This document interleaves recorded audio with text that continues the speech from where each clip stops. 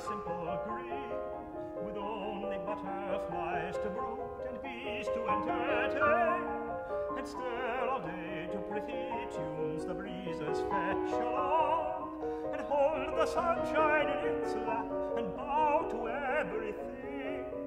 and thread the dews all night like pearls and make itself so fine, a duchess were to come for such a noticing,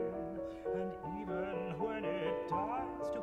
in odor so divine, as lowly spices gone to sleep for amulets of pine,